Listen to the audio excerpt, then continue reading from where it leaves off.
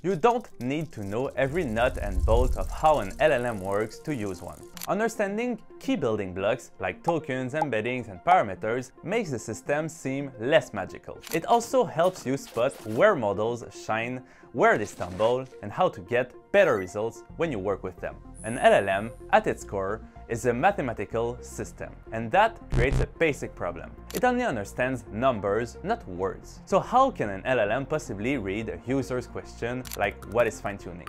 The first step is to translate the text into something the model can work with. That starts by breaking the sentence into its smallest meaningful chunks called tokens. A token can be a whole word, like hello, or it can also be a common part of a word, like run and ing, which would be running, but in two tokens. This is because the word ing is used a lot in the language. Or it can even just be a punctuation.